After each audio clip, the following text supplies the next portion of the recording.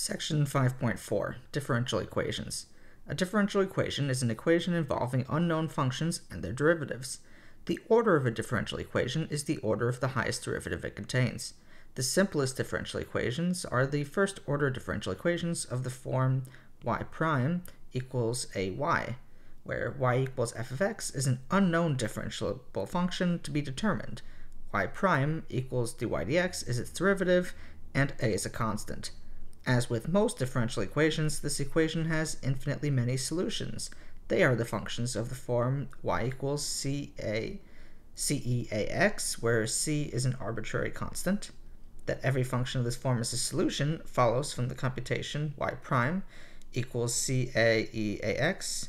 Remember to take the derivative of e to the some constant times x. You just take that constant and pull it out, multiply by it, and then you still have e to the ax. But c e to the ax was y, so we can just replace that with y, so y prime is just a times y. Accordingly, we call y equals ce to the ax the general solution of y prime equals a y.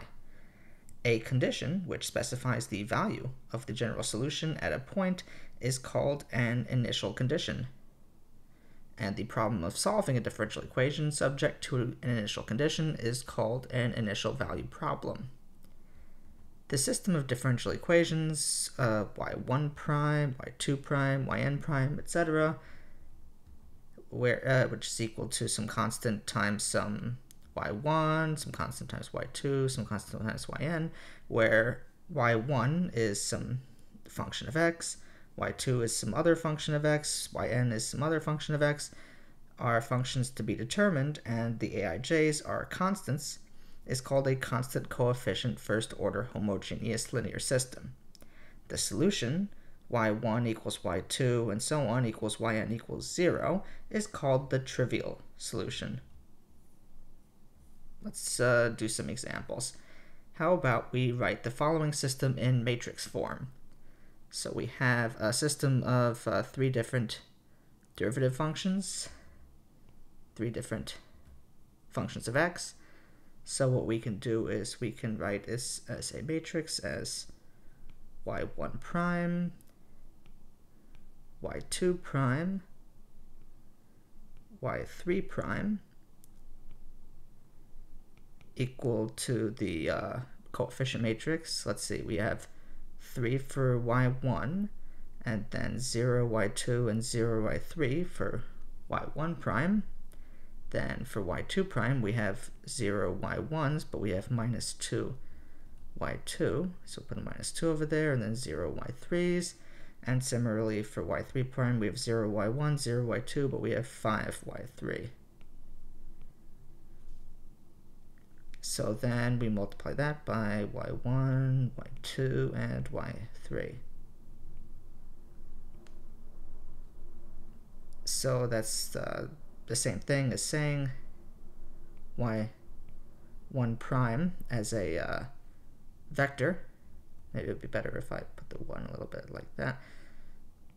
So y1 prime as a vector is equal to this coefficient matrix, 3, zero, zero,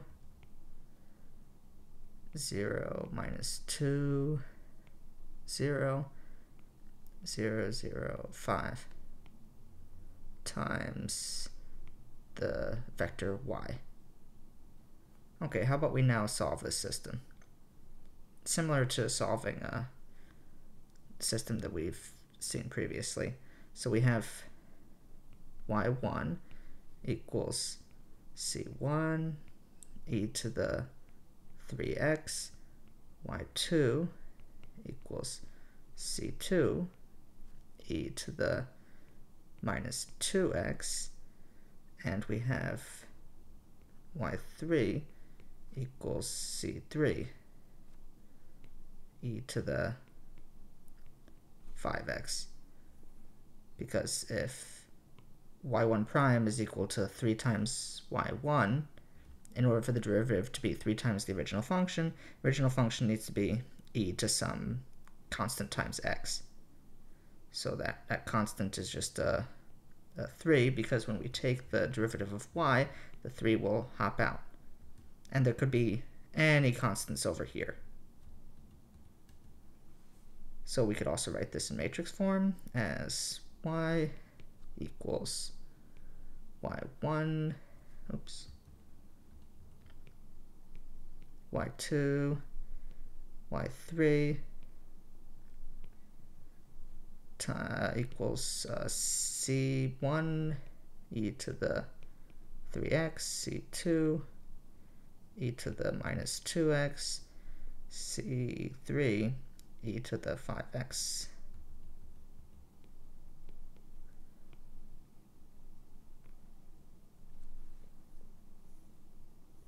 How about we now find a solution of the system that satisfies the initial conditions y1 of 0 equals 1, y2 of 0 equals 4, y3 of 0 equals minus 2.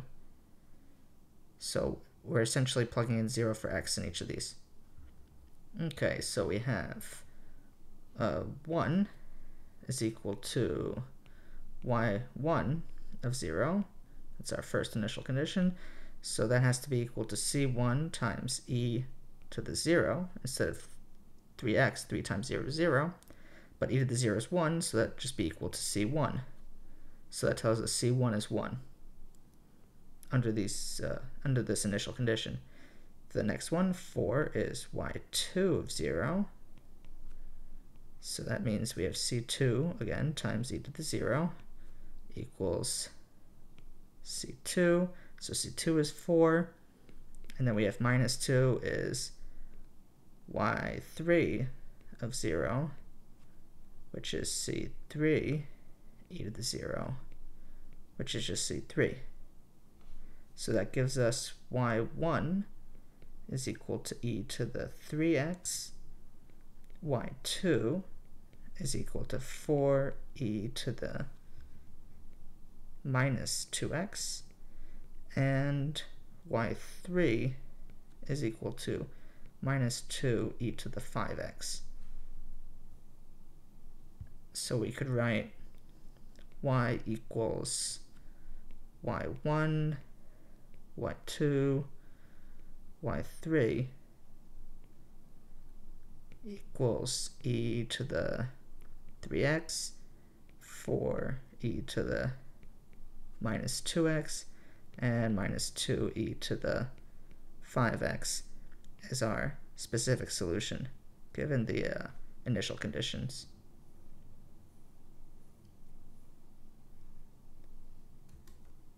Notice this next example is already a little bit more tricky. We have y1 prime over here equal to y1 plus y2. So we have two different functions involved in our first derivative and two different functions involved in our second derivative. So we can't just read off the um, exponentials as we did previously. Instead, what we could do is we could rewrite the system using matrices, diagonalize the system, and then just have one function for each variable. And then we could do the same thing we did previously and write it in terms of exponential solutions. So how about we try doing that? We'll write the matrix A equal to 1, 1, 4 minus 2 and we'll get the determinant of lambda i minus a equal to determinant of lambda minus 1 minus 1 minus 4 lambda plus 2 so that's equal to lambda squared plus lambda minus 6 and we could factor that as lambda plus 3 times lambda minus 2. So that gives us eigenvalues of lambda equals minus 3 and lambda equals 2. So now we can write the matrix lambda minus 1, minus 1, minus 4, lambda plus 2, and multiplied that by the vector x, x1, x2 over here for the components, and set that equal to the zero vector. So let's solve that for lambda equals 2 first.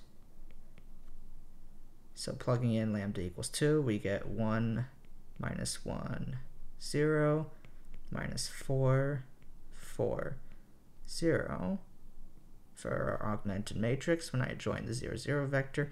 So I get 1 minus 1, 0 on top. The second uh, row I could just zero out or add a suitable multiple of the first row to it. Either way, it's 0, 0, 0 and that gives me x1 minus x2 equals 0 from the top row. So that means x2 is a free variable. I'll set it equal to t. x1 is equal to x2 by moving this to the other side. So that means that x1 is also t. So that gives me the solution x1, x2 equal to t, t, and I'll factor out the t and get the vector 1, 1 and that gives me my first vector p1 for my diagonalization equal to 1, 1. Now I'll do it for lambda equals minus 3. So I'll get the matrix minus 4, minus 1, 0, minus 4, minus 1, 0 by plugging in minus 3. I'll reduce that. I'll get 1, 1 fourth by dividing by minus 4, 0, and then 0 at the second row. And that gives me a top equation of x1 plus 1 fourth x2 equals 0. I'll set x2 equals t. Solving for x1, I get that x1 is minus 1 fourth x2, so it's minus 1 fourth t.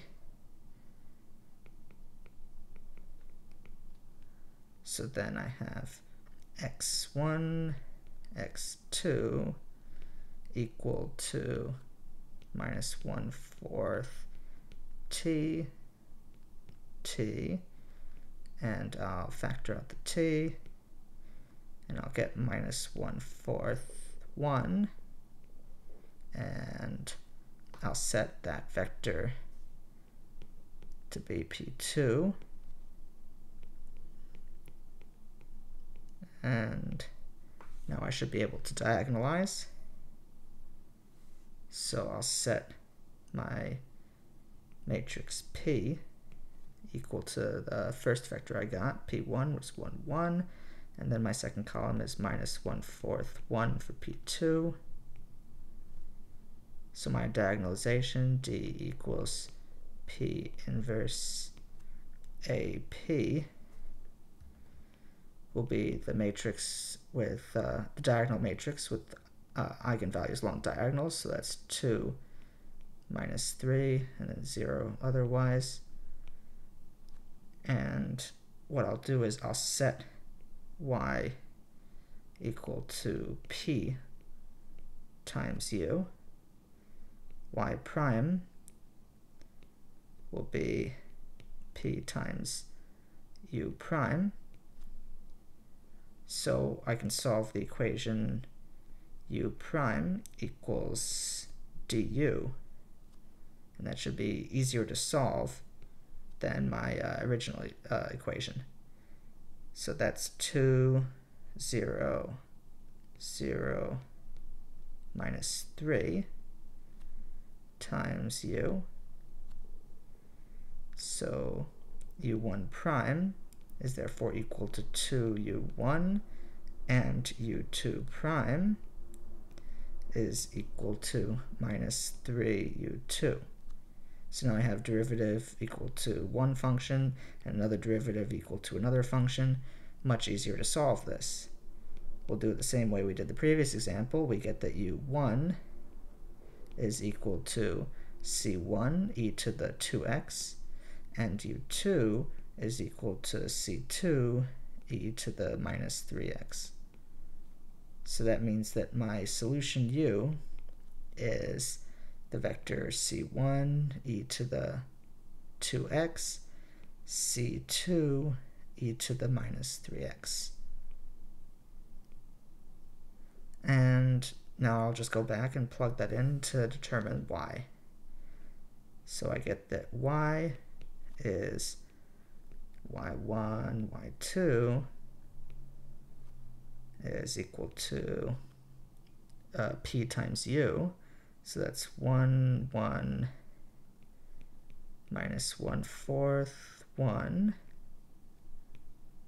times u is c1 e to the 2x c2 e to the minus 3x and multiplying that out we get c1 e to the 2x minus 1 fourth c2 e to the minus 3x and then c1 e to the 2x plus 1 c2 e to the minus 3x and that's great. It's the same thing as saying that y1 is equal to c1 e to the 2x minus 1 fourth c2 e to the minus 3x and y2 is equal to c1 e to the 2x plus c2 e to the minus 3x. So now we have a pretty handy way of solving differential systems of differential equations using matrices and uh, diagonalization. How about we now find the solution that satisfies some initial conditions? So we have y1 of 0 equals 1, y2 of 0 equals 6. So plugging that in, we get that c1 minus 1 fourth c2 is equal to 1 just by plugging in 0 over here and then setting that equal to 1 and plug in 0 for x. And I also get that c1 plus c2 is equal to 6 by plugging in 0 for my second equation and setting that equal to 6. So solving that system, I could just uh, take uh, this equation, subtract the other one, cancel that out, solve for c2. So I'll see that c2 is 4, and plugging that back in, I get the c1 is 2, or solve it any way you like. In any case, you get the particular solutions y1 equals 2e to the 2x minus e to the minus 3x, y2 equals 2e to the 2x plus 4e to the minus 3x.